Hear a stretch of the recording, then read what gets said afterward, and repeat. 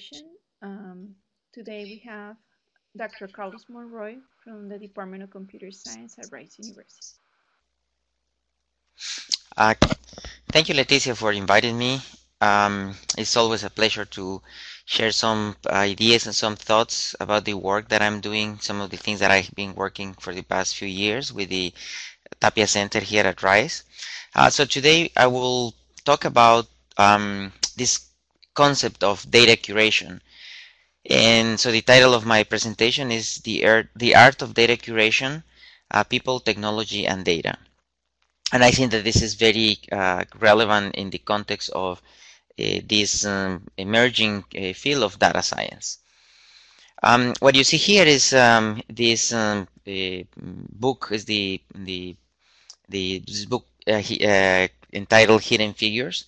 Um, this uh, the base of a movie that I haven't seen, but I I've heard uh, a lot about it, and it's the story of this uh, group of African American women who did a lot of uh, computation and calculations for um, enabling and helping uh, for NASA to have uh, astronauts on the moon.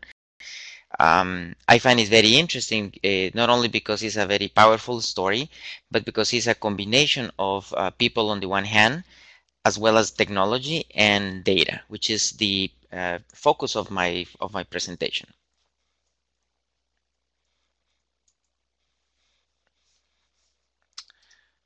All right, so I will start off by, uh, these are the main points of what I will go through today.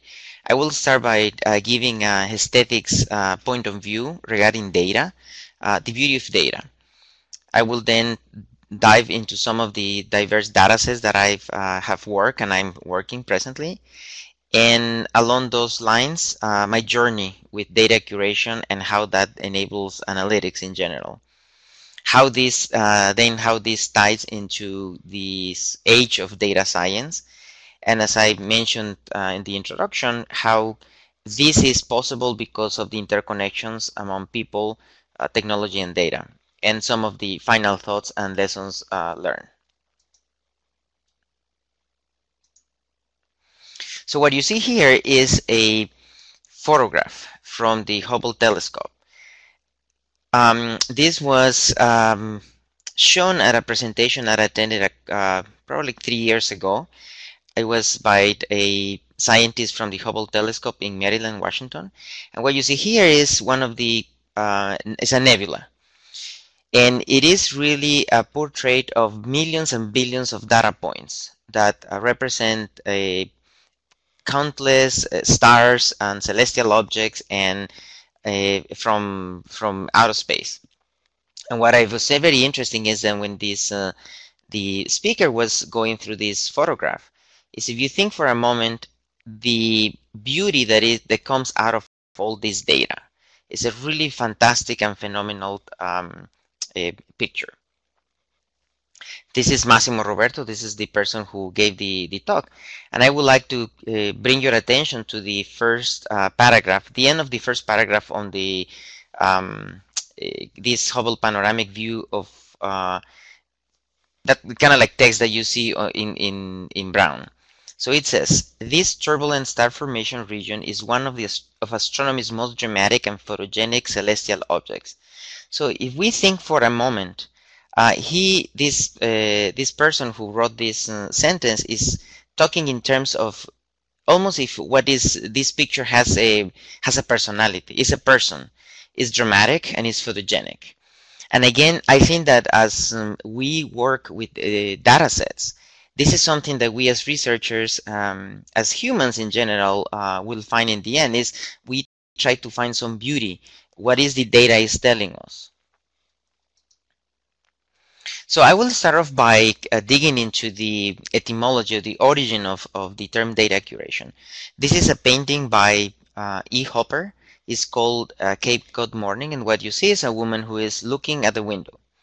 So this person, this woman is looking at a window but something that is uh, out there. Uh, could be a sunset, could be the beauty of the landscape, maybe it's, a, it's the sea, but nonetheless what is she is that uh, she's captured in this beauty that it comes from something that um, that is out there something that is giving and the word data comes from the latin datum which means data of given, something that is given, that I haven't put in there, but nonetheless I'm observing.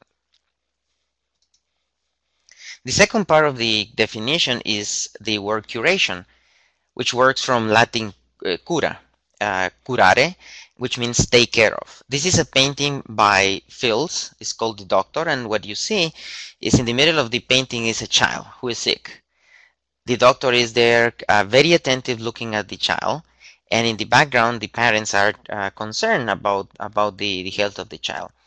So what this painting uh, portrayed is something, is people taking care of another person, curare, taking care of. So in this regard, I will the definition that I will give to data curation is a concern for something beautiful and valuable that is given. Basically what data is given to me. And uh, in this context, then we are stewards of this data. We are uh, stewards of this repository that, as we will uh, move in my presentation, you will see will help us to answer questions, to find, uh, to make discoveries, and to advance knowledge. So we are stewards of this reality. Now, data in itself has a value. This is a seminal paper written by uh, uh, Sergey Brin and uh, Lawrence Page, which are the founders of um, Google, as you would uh, expect.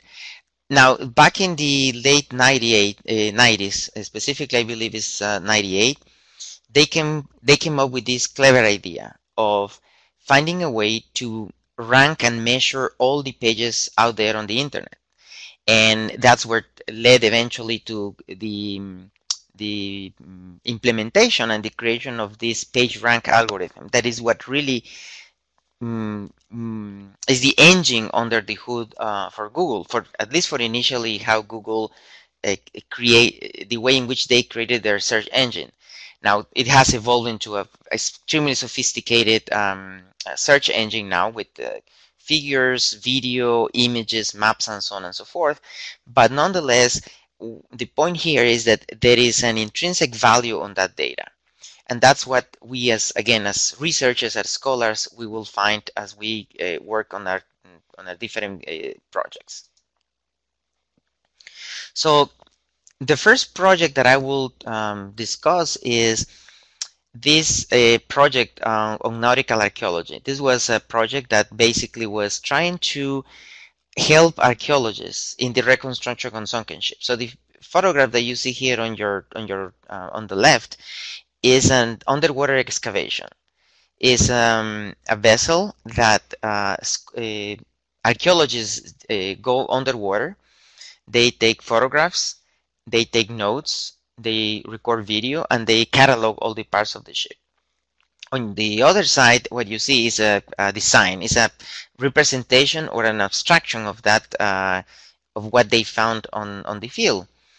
Now, there was one archaeologist who has this, this quote that you see at the top that says, piles of rotten timbers and broken artifacts constitute a wealth of information. Yet much of that knowledge will remain unrecognized unless one develops a proper method of access to it. And I think that this is exactly what we find when we are uh, working with datasets. They could be complex datasets, could be small, simple, big, it doesn't matter. Whatever datasets that we work with is we are trying to make sense um, what is in there, but we need to have a method uh, to catalog and access them. So in this regard, nautical archaeology is as, as a science, it studies uh, the remains of boats and ships. But not only that, but also the cultures that created and used them. Now, I think that this is very important because when we start um, doing research and for which we use and rely or, or rely, uh, rely on data, is not only the data in itself that we are focusing. There is a, an overall context that is very important for where we are trying, the questions that we are trying to, to answer. Um, this is a quote by Forte, uh, who says, to enhance the, he is talking about the, the reconstruction of, um, of in, in, the case of archaeologists. But he says, to, the, one of the goals is to enhance and direct and direct cognitive perceptions of antiquity. So these are all things that with these reconstructions is trying to bring our uh, cognitive perceptions to what once existed but doesn't exist anymore. But there is one thing that uh, can be dangerous, and that's the quote at the bottom, or my comment at the bottom, which says, however, they can have lives of their own. The idea here is that when we abstract a reality and we create a representation, could be a mathematical model, uh, could be a um, a drawing or a sketch, if it's not fully supported or we can we lack a tracking back to the original data, those artifacts or those representations or abstractions uh, can have lives of their own. They they maybe are not necessarily a, a um, faithful representation of, of that original uh, reality. So one of the things that uh, in the case of nautical archaeology, one of the goals was to reconstruct a ship. So what you see here is a, a scholar who is uh, creating a, a, model, a wooden model of an existing, of an old uh, shipwreck. And in order to do this, this archaeologist has to rely on different sources of information. So what you see here are some photographs for um, from artifacts or pieces of ships from other ships that have been recovered. So archaeologists take pictures of them, as I mentioned before. They uh, add notes about them. They describe them, their properties, their dimensions. But also they rely on some models, and that that's the the graph that you see on your on the left. This is a um, a 3D um, mm, image uh, representation of a of a different vessel. They also rely on other models and also on um, manuscripts that describe the construction of ships. Keep in mind that these are uh, ship, uh, ship, ships that were built in the 18th, 17th, 16th century. So those are those are all uh, different types of information that they use in order to uh, understand and reconstruct a, ship. Here are some um, uh, shipbuilding treatises. I will uh, talk in, in the next slide. But these are basically, imagine a textual, textual manual that describes the steps uh, that are needed in order to uh, build a ship. And this, in, in the case uh, of the project I was working at that time, they were written in different languages. So this is what I'm uh, what I'm, I'm, talking about. This is a, an image of a, um, believe it's a 17 Portuguese uh, treatise. Like I mentioned before, is think of, of a treatise as a technical manual that describes all the different steps and properties and dimensions. Sometimes they had corrections uh, because those, these are manuscripts. So think about this as a versioning, kind of like a versioning. But I also have uh, uh, sequences of constructions. So this, in a, in a sense, in, in, in my view, are really, it's really an algorithm because there are steps uh, on how to construct a shape. They also uh, include within the text proportions, geometric proportions that are uh, related to uh, some figures. So that's the the relationship that you see between these ovals in different colors and the and the brackets at the at the bottom. So here the challenge is linking these two representations. You have a graphic representation and you have a textual representation in addition to uh, steps in building the, the ships as well in different versions one more challenge with that project was that these these uh, uh, shipbuilding treatises needed to be also linked to other uh, building uh, shipbuilding treatises. So linking different manuals. That's how they the uh, the archaeologists will rely on, so, on, on information. So you see here, for example, uh, two illustrations from two different from two different printed books. although both are in Portuguese, but they correspond to perhaps different type of vessels. But again, the idea here is that they need to link these uh, uh, different uh, visual representations in order to better understand a ship that they are working on at a given time. And again, the challenge with this particular project was that we had manuscripts written in different languages, Portuguese, Italian, Latin, Dutch, uh, French, to name a few. So once the data was uh, was prepared, then I was able to build this um, uh, interface. What you see here is a web-based interface that was under the hood uh, querying uh, uh, those texts, and it was able to bring text uh, across all different languages. But this rely on one of the challenges. Another challenge with this project was that as one scholar mentioned at, uh, at a given point was that the some of the terms, nautical terms, specifically in that period of time, um, are different than what we know, what in modern times we know about those terms. So this is again uh, the evolution or the change in the meaning on, on, on, of some terms. A second challenge was that the some of the there was no uh, a, a link, one-to-one -one link between languages. For example, he mentioned that um, anchors, for instance, in medieval times in the age of exploration were actually a complex, uh, more complex artifacts. So these things, again, it, it illustrate some of the challenges when we are dealing with data. Another important thing is what I'm seeing, what I'm showing here is um, and very integrated uh, interface. Here are uh, some of the translations. And again, we did some of the of the translations was done in automatic fashion. But as, given some of the difficulties and the challenges that I uh, mentioned um, earlier, we have to rely on a manually curated um, multilingual um, dictionary. And we had about 30 people editing this dictionary, which encompassed 12 different languages uh, included synonyms, definitions, as well as uh, different um, spellings of the words.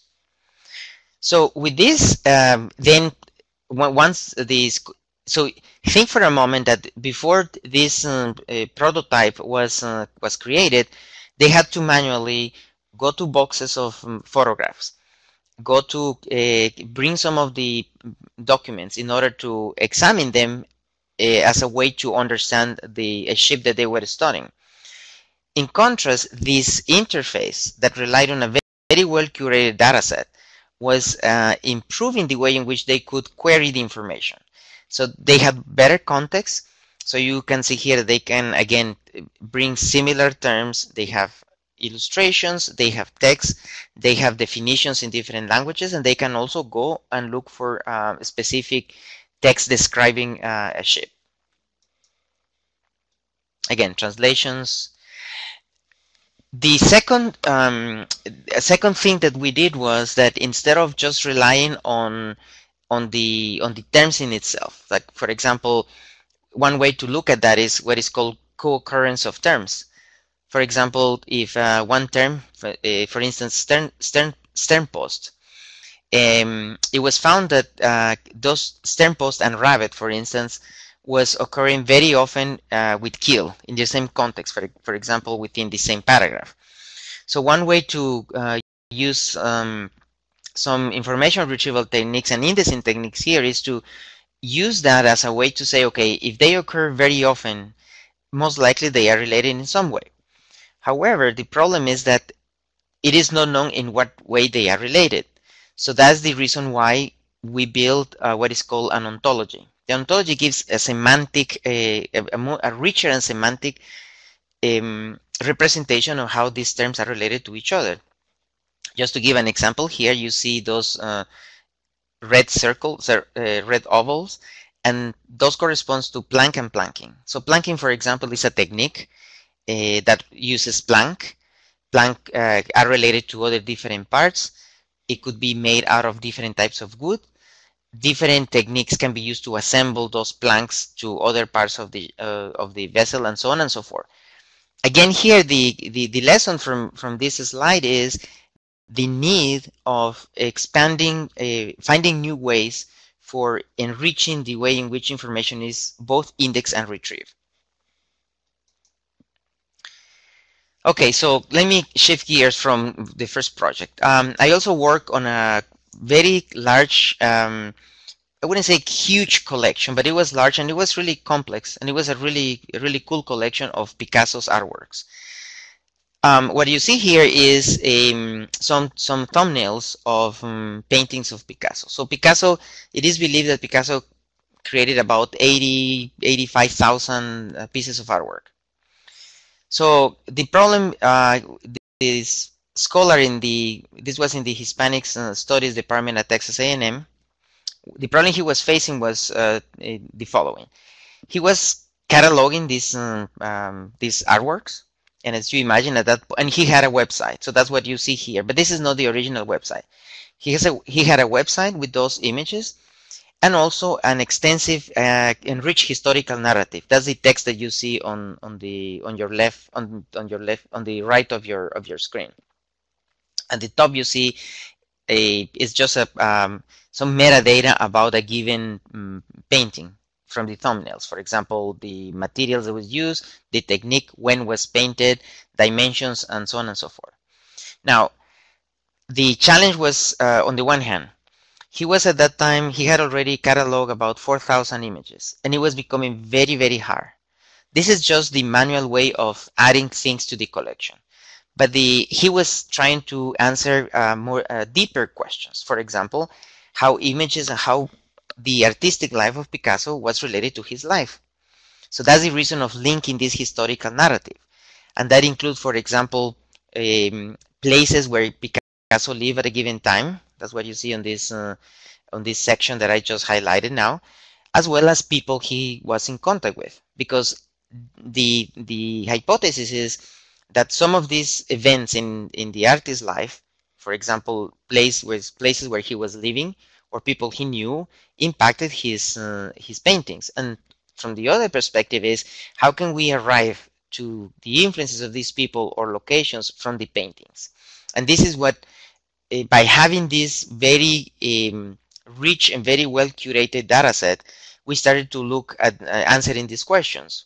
Another question was, for example, try to find the similarities uh, between different uh, periods of his of his artistic creation. There is um, we also work on another. This is a different project. This is on on mm, linguistics computing. This is um, some, uh, uh, it's a poetry of a 17 poet, John Donne. I did not anything about him in the past, but it seems to, it seems for what I understand that it's a very important in English literature. So this, um, one of the, the goals of the, of these um, scholars was trying to identify the differences among all uh, printed books of this poetry because there were differences. Even though they were uh, printed books, the copies uh, contain uh, different versions. So the, one of the questions is why is that some of the of the copies have differences and they are not all the same. Now, an interesting thing here with this um, collection was to that it was not just a digital version; it will also include a, a printed book. So this is really the combining both traditional and, and digital scholarship. And it was a very, a, a very, very interesting a, project and also show um, the beauty that these uh, scholars working on this project was putting on, on cataloging and curating this, this data set. All right, so I will move to a next stage on my my on this journey that I mentioned at, at the beginning in terms of uh, of um, using data. So in 2013, I was selected to participate on this data intensive uh, ideas lab sponsored by NSF. So we were uh, a group of probably 50, 40, 50 people in different areas of, of, of learning and, and education.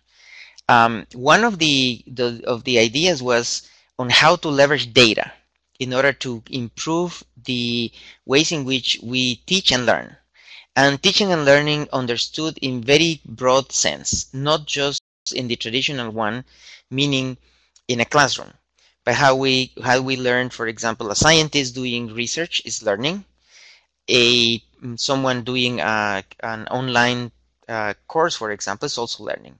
So both in formal and informal settings, and this uh, lifelong uh, trajectory of learning. So that was kind of idea. So one of the mm, the things that came to my mind was to came up with this notion of learn what I call learning informatics. And the idea for learning informatics is to have a very similar approach of what has been done in bioinformatics. There was uh, there's going to be a, a, slide later on on my talk in which I will highlight some of the uh, tremendous advancements in in bioinformatics eh, that have been possible because of data curation. So again, the idea was of using a very similar approach for learning data. And in, in this context, uh, we have this, uh, I started working on this area called learning analytics. That is the collection and analysis on, and measuring the data about learners as well as the mm, context uh, where it mm, where it takes place. This learning takes place. As a result of that, I participated in a couple of, of events. Uh, this is what you see here, this Learning Analytics uh, conference, where we uh, presented some of the work we were doing on a, a large-scale analytics for a, a, online science curriculum that I will be talking in just a couple of minutes. Um, one of the things that I learned out of this uh, um, Ideas Lab, NSF Ideas Lab, was um, this um, established uh, data shop. That's what you see at the bottom. It's called uh, PSLC Data Shop. This is a collaborative effort at Carnegie Mellon and University of Pittsburgh, and it's a place where uh, people who have collected or have data pertaining to learning, um, they can upload the data sets and they are curated. So the research uh, can go and use the data to develop new methods or answer uh, different uh, uh, questions but it, this is possible because uh, someone has taken the time and the effort to have a very well curated uh, repository of, of data. So this is a, just a definition of this uh, concept of learning informatics. As I mentioned, is very is similar to what bioinformatics and has done and system biology has done. It's uh, connecting all the dots. So how I came to to work on, on learning analytics and in analyzing data uh, from learning spaces. So this is a um, screenshot of a game of a group I previously worked here at Rice, and it was a, a, um,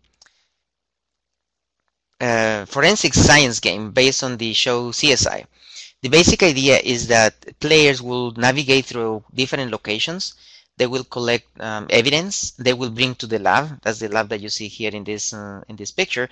They will process that evidence and they will come up with clues. So what they are doing with this is really doing the scientific method.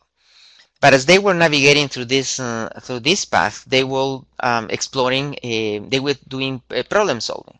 So the question we came up with was, well, can we analyze some of the of that data in order to better understand how are they how are they doing uh, how they are approaching this uh, this uh, problem solving space so just to give you a um, one example we look one of the first question we were trying to answer was what are the places in the game where players are um, most are most often they stop? And this is what you see in this uh, graph. On the x-axis are the different uh, locations in the game or steps on the game. On the x-axis are a number of, of players, and this is for a study we conducted.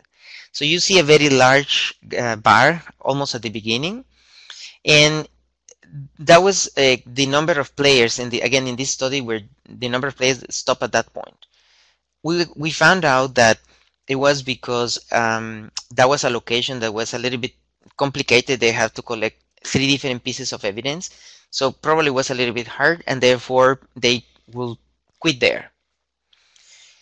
Then we'll, we can see that after one most of, um, approximately one third of the game, um, they will not, with a couple of exceptions, they will most likely not quit. So it could be that at that point they have reached a certain uh, degree of engagement in the game. There could be one one way to look at that or the other could be that they are and therefore they are more confident with what they are doing and therefore most likely to to complete but again this is uh, just to illustrate the power of data in order to understand this uh, this game another question that we were exploring was for example could be could we use this data to find places on within the game that perhaps are not well designed. That that could be the reason why they are uh, quitting at a given point. Another project um, within this, uh, in the context of learning, was this science learning science curriculum. Uh, it was called, it's called STEM Scopes. This was at the time um, is a very uh, robust pedagogical framework um, that supports this curriculum. It's called the 5E plus AI framework. And the 5E stands for engage, explore, explain, elaborate, and evaluate. So I will explain a little bit what in more detail what this means. Uh, what this means is that what you see here in this picture is imagine a, for a given class the different topics that the instructor will cover uh, in the school year or the semester. So this is, for example, change from heat. Now, the instructor can follow and use different resources, and that's what all you see on that list on your left. But each one of those resources is based on a pedagogical uh, framework or, or, theory. And the idea here is that you will use a, a ways for in, to engage students, then let them explore the content, then the instructor will jump in and uh, be more involved to correct misconceptions and direct the, the, the understanding. Then they will make connections to other uh, topics. That's the elaborate step, and then you will evaluate. That basically is a test or uh, some hands-on activity. Um, so this is this is what the the this curriculum was about we had about uh, half a million users, about 45,000 in addition to those are the students, plus 40, about 45,000 uh, teachers. They were one of the reasons we were planning on using this data was because in addition to these five steps, there was also a, two other additional steps, intervention and acceleration. Intervention were resources geared to students who have who are struggling so that they can um, they can be presented with with materials to to help them to to go um, to advance. Acceleration, on the other hand, are materials and resources for students who are mastering some concepts so they can be presented with more challenging uh, resources. One of the uh, challenges we face with uh, with this, and this is in, in the team I was working with, we have people from, as mentioned, from pedagogy, from education. I was on the computer uh, computer science uh, standpoint. But one of the challenges is that there were so many questions that were uh, needed to answer. And it, bec it became evident from the beginning that it was really challenging to extract data, to modify data, to slide data, prepare different data sets, to do all sort of, anal of analytics. So I we I found this uh, tool. It's an open source tool called uh, Pentaho that allows um, allows users to extract, transform, and, and load data. So that's this is basically the workflow in, in this data analytics uh, setting. It's basically we have different sources. We extract the data from there. We have to clean the data, uh, remove outliers, um, uh, create new new features, then put it in some way uh, in a different place so that, that that can be analyzed. So that's what the you see on the on the bottom of the screen is all this workflow is needed in order to reach the point in which I as a user can explore this data set and make inferences or answer questions. I'm not going to go in detail with this slide, but we um, one of the, the challenges again is on, on finding different ways to to combine data. So we came up with different uh, combinations. Uh, in this case, we um, de developed these inquiry learning indices. Uh, these are for just a, a, plots of different of some of the five steps and combination of these steps that I mentioned in one in my previous slide. Um, but really quick, I would like to bring your attention to the uh, green um, the green um, rectangle at the bottom. One of the uh, ideas that people uh, in pedagogy told us was that in roughly they this instructors should be devoting between 25 to 35% to inquiry related resources. And that's what we found, at least on the engage, explore, and explain um, steps, which was good. And it, it should be in combination uh, between two thirds of the of the steps. And in our case, at least for this study that we conducted, we have a 70 percent. Uh, so it's roughly in that in that mm, in that range. Again, the point I'm trying to make here is how the power of data of visualizing this data and combining data in different ways to start answering questions. Uh, this is just um, uh, heat maps to illustrate um, both elementary schools and middle schools. Elementary schools are the ones in blue, middle schools the ones in red. And what we wanted to look is to have a, a very not a dramatic uh, contrast of, of a heat map, but rather something that is kind of like what you see on the elementary schools, where teachers, the usage of different resources for all the different students, so that's what, I'm sorry, for the teachers that you see on, on these graphs, are pretty much the same. On the other hand, for the middle schools, you see that there is more um, there is more contrast. That means that some steps were used uh, not in a very un uniform way. Again, the point here is to illustrate how the the the power of data and, and visualization in order to understand this this setting. Another way of using or leveraging this data is to for visualization. Here is um, a snapshot of a prototype that we developed and represents students as the list that you see on, on the rows. The columns correspond to different science topics. The color of the arrows uh, and the way they are pointing. Green means that the student is advancing from the previous uh, step, from, from the previous snapshot, or they are going down from the previous snapshot. And this was a, a visualization that will help uh, teachers in order to better uh, monitor the students and, improve the instruction. You see that you notice that the students are color. The idea for this is that the colors represent the different um, uh, levels of uh, response for intervention, meaning students who are already master content or the ones who are struggling, and therefore how I as instructor can tender to those uh, to those needs. The some of the the equations or some of the formulas that you see at the top is just to point out that under the hood, these numbers or this visualization that you see here is possible because there is a lot of computation that take place uh, under the hood. Um, so these are some of the of the projects that I had worked. Then I I'm kind of moving to the end of my talk. I this is a, a, a snapshot from uh, the AMP lab at UC Berkeley on the data science, and I mentioned uh, at the beginning of my presentation that I really like this idea of the combination of data, uh, people, and technology. At, in the case of UC Berkeley, they call this uh, the AMP lab. is for um, algorithms, machine, and people. And the the idea for this combination, I believe, is from this um, theory that is called socio-technical approach. And this is a, a group that I, um, for which I, I, participate with NSF. And the idea again is the, that when looking at, at systems is to look at these combinations.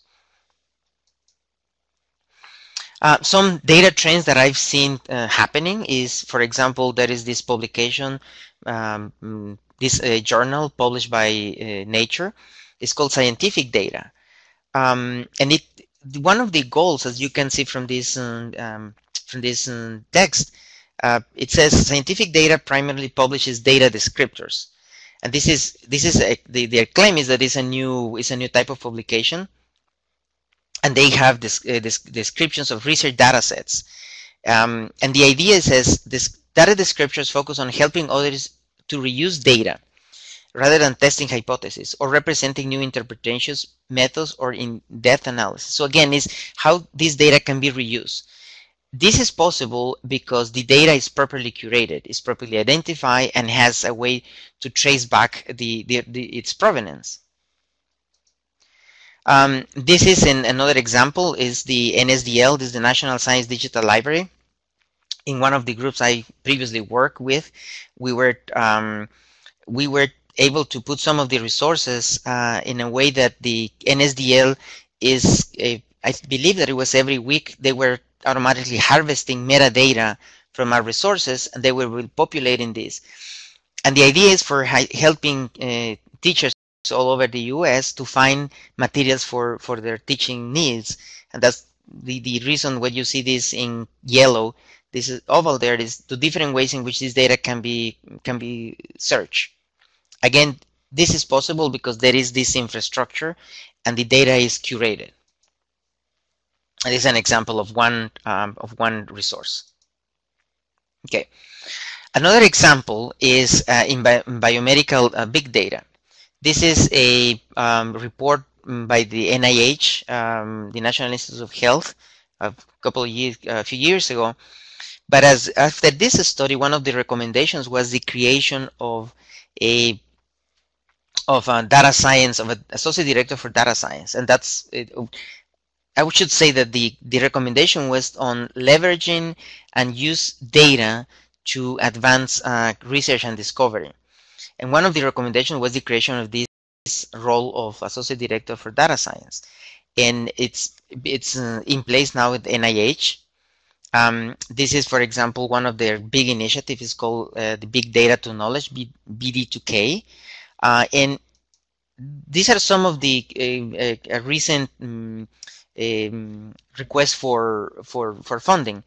But I would like to illustrate this with these three examples that they are focusing a lot on data science related organizations. So you you know create some infrastructure in this in this uh, context at the level of community. There is also uh, digital curation for biomedical big data and metadata and standards efforts. So again, without these, many of the of the discoveries that they that they are intending to do would not be possible. Um, and and all of these, if, even if we are in the this, I think is a slide shot from 2016, but it's still, as they mentioned, is still in the early ages of technology. So there's a lot of room and opportunities to work in this. Uh, in in fact, uh, last fall, uh, um, former Vice President Joe Biden was here at Rice. He talked about this cancer moonshot. One of the main points was on using data and big data for advancing um, cancer research. Uh, this is another um, example on linking deep, very diverse data sets. This is the National Health and Nutrition Examination Survey. Um, just to give you a, a quick mm, uh, highlight of this. These are some of the data sources. This is a, a, survey that they have been conducting for the past few years. What they do is that they conduct both in-person uh, in, um, surveys and phone interview, and they also collect data samples from medical and lab tests. And they follow these individuals, and that's how they have all these uh, rich um, I would say like a snapshot of state of state of the union health uh, uh, nutrition uh, snapshot. But they are starting to be interested in linking data sets from other sources. For example, data from the USDA, uh, the United States, um, uh, the Food and Nutrient Databases, for example, and uh, different food patterns and so on and so forth. So again, the idea is starting leveraging data to answer uh, wider questions or more um, uh, deeper questions. So uh, getting towards the end of my talk, um, I mentioned about some of the success stories um, in biomedical uh, data. This is from the Gene Expression Omnibus. What you see here is a heat map of, I am not an, I will make the disclaimer here that I'm not a, an expert on this, but um, I work on, on, on, a couple of these data sets in the past and I can mention a, a couple of points. So what you see on this heat map is on the rows corresponds to different genes and the columns corresponds to different uh, experimental designs. So that's how these genes have been uh, treated or exposed to different conditions. And the idea is by putting this on this uh, uh gene expression omnibus, scholars uh, or researchers, they can um, look, for example, of what other people have done in the past. I one example like that come to my mind is, for example, uh, my wife who's working on, on, cancer research. Once she mm, put one of the, uh, her studies, she was able to find a study back in 2012 of someone who had demonstrated that the levels on of oxygen in some um, on some cells were correlated to a specific uh, genes, which were the genes that she was interested in doing for her research again, here the, the, the, the case I'm making is without this very well curated data set, this kind of advancement in science would not be possible. Um, and this is, sorry, this is just uh, some of the metadata that is used for when these publications are, are, uh, are submitted for public, these articles are submitted for publications that include not only the traditional title, um, the different um, um, title and, and author and so on and so forth. But also you have to submit your your your raw data uh, data from your experimental uh, conditions. Um, one of the projects I worked also in the past was I mm, took a class on machine learning, statistical machine learning a couple of years ago, in which we had to predict the probability that a patient would be readmitted to a hospital within 30 days after being discharged from the hospital. So we had a training set of about 12,000 patients and a test data sets of about 5,000 uh, patients. These are the, the number of visits, about 15,000 and 6,000 uh, respectively. Now, one of the challenges we faced with this um, was that in addition to that, for the for those um, data sets, we had about 640,000 test results. So those were triplets. The test code, the date the test was conducted, and the result. And this is just a distribution on some of the some of the tests. Um, a challenge was that um, we we were not with the the person that I work in this project. We were not experts on on on, biome- on medical or health data. So one of the first steps for us was to engage people from that community better to understand. And we have to do quite a few work on uh, feature engineering. And that's what some of the these tables uh, illustrate some of the, the, the features of new variables that did that we uh, created from the original ones. Um, and we noticed that as we were creating new data, uh, new variables, we created different indices or different combinations of these uh, these features the models that we were building were changing. We're, we were getting, in some cases, probably worse results or better results. But this again illustrates um, and in, indicates the challenges in, in data-rich environments. It's a, it's, a, it's a really beautiful uh, area of, of research, but at the same time requires a lot of trial and error.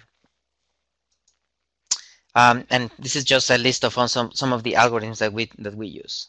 Okay, so the final point I will make is uh, this my uh, current project I'm working on, on this uh, uh DARPA funded project, in which we are trying to do is to help programmers to autocomplete um, programs. So imagine if you are writing a piece of code or a program uh, by analyzing large amounts of data, this system will be able to help you to finish your code with three goals. One is to minimize um, vulnerabilities, make sure that the code is robust, and also improve productivity. Um, these are just some numbers of the data that we are using. It's a lot of source code from different projects, about 340, uh, almost 400,000 projects, um, about four, 14 terabytes of original data, uh, corresponding to 125 roughly million files. And one of our partners in this project, this is a very interdisciplinary, multidisciplinary uh, research project, one of our um, of our partners just recently processed 1 billion lines of code. So it's a really large scale analytics uh, project. Um, again, these are some of the different teams that are involved from the what the programmer receives and how this all this data goes through the through our uh, cloud-based infrastructure and returns results for the for the users. Um, this is again some of the all different from data sources how this um, data is being uh, processed, metadata is extracted, different abstraction representations are then stored in our analytics database. This is one uh, one case. What you see on your left is the uh, uh a, segment, a partial segment of a source code in C. And on your right are different abstractions. So you can have, for example, natural language that basically just the name of the functions or comments within the text. You can have input output examples or skeletons of functions, the signatures on, on of functions, the output, uh, API, API traces, and so on and so forth. So just to keep in mind that this is a, again coming from the original data set and creating different transformations and different representation. This is a very challenge, uh, challenging uh, um, environment. This is a, we have a, another partner in this project is this company Leidos, and they are the ones curating these data sets. And here are, you see on this drop drop down box uh, on, on the left is just some of the metadata. I'm not going to go into the details, but again, it's a very rich, a very, really rich uh, data set. So I would like to conclude by um, making four main points. So data curation is critical for improving access, share this data and also use this data. Um, and in, in this way, it's very important the, the idea of developing and disseminating these, uh, these methods and this software so that other people from the community can um, benefit. That was one of the uh, lessons learned from, from the case of the, the biomedical uh, big data. Um, there is also, because uh, data is constantly changing, uh, especially with the amount of data that is being generated that, that people have uh, or we can have, uh, the need for improving and strengthening the practices in data curation and governance. What are the standards that are going to be used? Who is uh, responsible for making sure that the data is reliable and so on and so forth. With the ultimate goal of uh, accelerating discovery.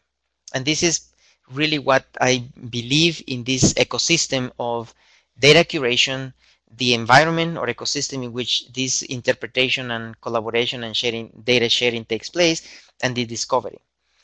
And this is in summary what i believe that makes possible like as i started my talk with this concept of beauty in data.